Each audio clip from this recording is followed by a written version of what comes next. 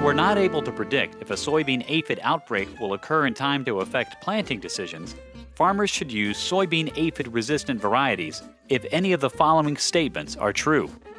The fields have been sprayed for soybean aphid two out of the last four years. Organic soybean varieties are being raised, or a transition to organic production is being made. The fields are difficult to spray either due to scheduling or the fields have irregular shapes, contours, or obstructions. The farmer wants to minimize chemical inputs to diversify pest management. If any of these cases are true, consult your supplier for a soybean aphid resistant variety seed.